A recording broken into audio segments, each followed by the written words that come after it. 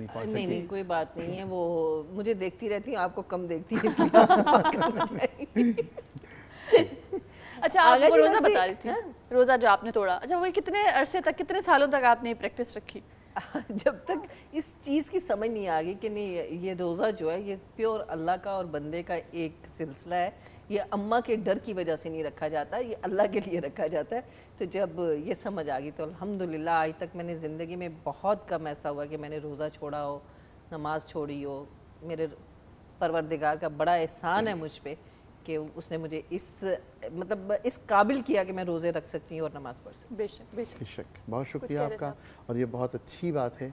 और मैं दरअसल जो बात कल भी और आज भी लोगों से कहना चाहता हूँ कि नमाज़ पढ़ना अगर आप चाहते हैं तो कोई बहाना आपके लिए नहीं है। नहीं आगा जी, मेरी, मैं जब शूट से घर जाती हूँ तो बहुत दफ़ा ऐसा होता है कि आप रात के तीन बजे, और इतने थके हुए होते हैं कि ये मतलब बता सकते तहरीम के दिल करता है कि कोई नज़र भी ना आए, बस बिस्तर और हम हो। लेकिन जब मैं जाके लेट जाती हूँ सोने की कोशिश करती हूँ तो मुझे नींद नहीं आती। मैं कहती हूँ मैंने सारा दिन काम किया अपने लिए किया बच्चों के लिए किए दुनिया के लिए किए। अब जब अल्लाह की बात आई है तो अब मुझे नींद आ रही है। फिर मैं उठ के वज़ू करके नमाज़ पढ़ के सोती हूँ। वेरी गुड ये ये वो पॉजिटिव सोच है जो हर मुसलमान की होनी चाहिए। और जब एक कमी का एहसास होता है बिस्तर पर लेटने के बाद कि नहीं कोई चीज़ हाँ। रह गई है कोई कर्ज बाकी रह गया है। रह गया। क्योंकि ज़ाहिर है कि आप जो सब कुछ दे रहा है सब कुछ दे रहा है। आप इधर हैं तो उसकी वजह से हैं। मैं अगर आज हूँ आज अगर मेरी कोई इज़्ज़त करता है या मुझे कोई प्यार करता है या मेरे कोई फ़ैन है तो ये सब अल्लाह का करम है मेरे ऊपर कि। बंदा मैं तो इस काबिल ही नहीं हूँ। मेरे मतलब अगर देखा जाए तो इस एज में इस हदू दरबे के साथ इतने फ़ैन होना इतना मोहब्बत करना ये मेरे रब का करम है। मेरे में तो कोई ऐसी बात नहीं है कि जिसकी वजह से लोग मुझे बड़ा अच्छा समझें या बड़ा प्यार करें। लेकिन एक चीज़ मैंने हमेशा ज़िंदगी में सीखी है कि लोग जब मैं अक्सर कल भी मेरी एक मेरा भांजा है उससे मेरी बात हो रही थी कमाल से कि वो कह रहा था उसने ऐसे किया तो मैंने इसलिए ऐसे किया। तो मैंने कहा बेटा फिर तुम में और उसमें फ़र्क क्या है? आप अगर किसी को गुस्से में या बदतमीजी का जवाब बदतमीजी से देते हैं और कहते हैं वो बदतमीज है तो वो बदतमीज नहीं है क्योंकि आपने भी उसका रिस्पॉन्स वैसे ही बदतमीजी से दिया। बात तो तब है कि अगर आप अपने आप को डिफरेंट बताना चाहते हैं तो फिर आप खामोश हो जाए। सही। बहुत आप टॉलरेट करें। आप और सब्र हमारा रमज़ान जो है वो अल्लाह ताला ने इसीलिए रमज़ान का महीना बनाया कि आप लोग सब्र करें और सब्र से काम लें।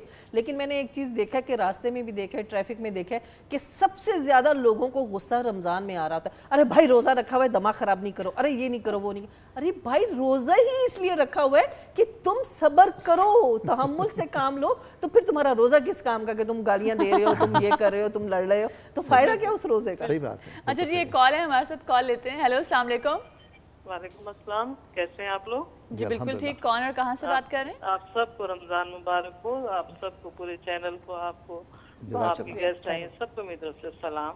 वालेकुम और अस्सलाम। मैं आपके पहले सवाल का जवाब दूँगी जी। कि अगर आपने सन पूछा है सन हिजरी पूछी है तो छः हज़ार दस और इक्कीस रमज़ान की रात को पहली वही आई थी। अभी कुछ मुख्तलिफ़ है राय होती हैं इसमें। तो मैं जहाँ तक मेरी नॉलेज है तो ये है। आपने क्या सन बताया? फिर बत, रिपीट कीजिएगा प्लीज़ इक्कीस रमज़ान। सन का पूछ रहे हैं सन हिजरी। आ, सन छः हज़ार दस। अच्छा आपने आपने अपना नाम नहीं बताया। मिसेस शाहिद मिसेस शाहिद अपना नंबर प्लीज़ कंट्रोल रूम में बता दीजिएगा। हम इंशाल्लाह ताला आपका जवाब सही होगा तो इंशाल्लाह ताला आपको मैंने आपसे बात करनी है। जी मैं हाजिर हूँ।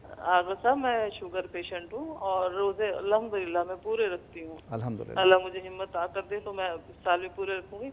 और सब मुझे वीकनेस बहुत है क्योंकि फल वगैरह तो कुछ खा ही नहीं रहे इसकी शुगर की वजह से फ्रूट चाट वगैरह तो बिल्कुल ही ख़त्म है मेरी। अब ये कि कुछ ऐसा बताएँ जो वीकनेस हो जाती है मुझे रोज़े के बाद मेरी बहुत निढाल हो जाती है। एक दो घंटे मेरी जरा मुझे तकलीफ़ होती है उसके बाद फिर आहिस्ता आहिस्ता सही है। आप कुछ ऐसे बताएँ कि मैं मुझे वीकनेस जो मेरी वो कम हो। जी अच्छा मैं भी कोई फल बता दें कि कोई खाने का मेरा है शुगर पेशेंट मैं भी मैं भी मेरे मियाँ भी दोनों शुगर पेशेंट हैं। जी ठीक है तो मैं, मैं अभी अर्ज़ करता हूँ आप बाजमात बैठ के खाइएगा। ठीक है जी थैंक यू सो मच खजाना वैसे ऐसा लगता है कि जब आप लोग थे आप अपना नाम लिखवा दीजिएगा आपको भी बता दीजिएगा। हमें कुछ पता नहीं है कि जवाब क्या है कंट्रोल रूम से बताएँगे। नहीं तो इसलिए ना कि अगर हमने बता दिया कि जवाब इस वक्त सही क्या है तो फिर इनाम किसका? बिल्कुल बिल्कुल बिल्कुल सही बात की थैंक यू वेरी मच ज़रा आपका बहुत बहुत शुक्रिया। आप हमारे लिए इस प्रोग्राम में तशरीफ़ लाई और आपने लोगों को जो मैसेज दिया वो यही था। कि तमाम चीज़ें अल्लाह के लिए हैं और अपने गुस्से पर कंट्रोल करना रोज़े में इंतहाई ज़रूरी है। और अगर आप गुस्से पर कंट्रोल नहीं करते तो फिर रोज़ा किस काम का? रोज़ा मतलब अल्लाह ने ये महीना बनाया ही इसलिए कि आप सब्र सीखें तहमुल से काम लें, अगर कोई बात कह भी रहे देखिए अगर जी, एक बात तो हंड्रेड परसेंट श्योर है कि जब लड़ाई होती है तो दो बंदों में होती है। अगर एक बंदा चुप कर जाता है तो लड़ाई नहीं होती। तो फिर लड़ाई की वजह आप दूसरे को क्यों ब्लेम करते हैं? आप भी शामिल होते हैं। किसी भी चीज़ को और हमारे मुल्क में इस वक्त जो है तहमुल की और सब्र की बड़ी सख्त ज़रूरत है और अल्लाह ताला से मेरी दुआ है मेरी हर सजदे में हर वक्त ये दुआ होती है या रब्बुल आलमीन जो पिछला रमज़ान था वो हमारी ज़िंदगी में कभी वैसा रमज़ान ना आए। जितने लोगों की शहादतें हुई जितने लोग बिछड़ गए हमसे मेरे मौला वो वैसा रमज़ान हम हमारी ज़िंदगी में कभी भी ना आए। आमीन सुम आमीन।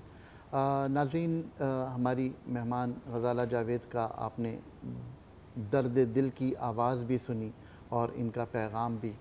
हम इनका शुक्रिया अदा करते हैं कि वह हमारे प्रोग्राम में तशरीफ़ लाई और बहुत सारी कबाहतों के बावजूद तशरीफ़ लाई। हम इनके बहुत मशहूर हैं।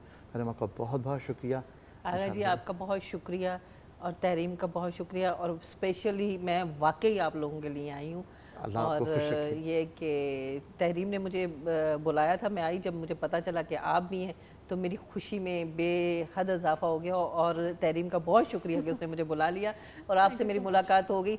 और प्लीज़ खुदा के लिए अगर मैं दुबली ना हुई ना तो आगा जी के पकड़ लीजिएगा। अच्छा जी हम चलते हैं एक छोटे से ब्रेक में कहीं मत जाएगा हम वापस आएँगे अफ्तार की रौनके में। Stay with us thank you